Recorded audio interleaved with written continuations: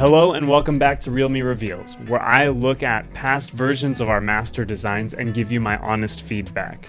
For those of you who don't know, my name is Mark Wesley and I'm the Product Communications Manager here at Realme. Last week we looked at our red brick design of the X2 Pro, and this week we're going to look at the inspiration from the suitcase and take a look at our GT Pro Master Edition, the Explorer version. Just like last episode, I'm going to be looking at three different aspects of the phone. The first is the look, the second is the feel, and the third is the concept.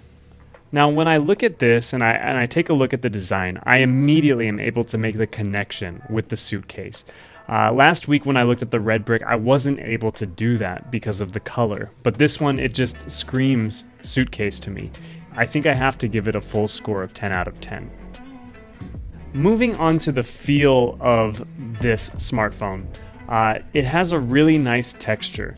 Uh, it feels good in the hand. It doesn't feel like a very glossy back cover. It has a little bit of graininess to it, uh, but it doesn't wow me in the same way that the red brick did. Uh, and because of that, I think that I have to give it a 9 out of 10. The red brick really kind of surprised me by the way that the texture was almost completely the same as the brick. This one, it does feel really nice. It does feel like a suitcase, but I wouldn't say that it has the same wow factor for me. And finally, we're gonna go on to the inspiration for this suitcase design. And I mean, as all of you know, we're in the midst of a pandemic and it's affected us in so many different ways.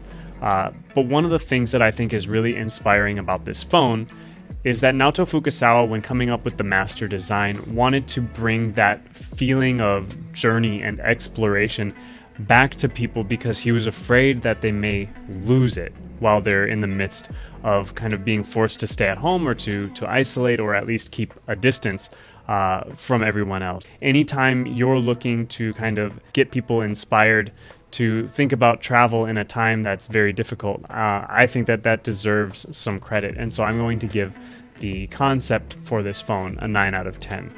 Add it all up, and you're looking at a 28 out of 30 or a 93% for a solid A. And I think that this phone really does deserve an A. It marks a, a, definite level up for this Master Design series. I think that this series has evolved over the course of time. I think that's reflected by the scores improving every time that I do these reviews.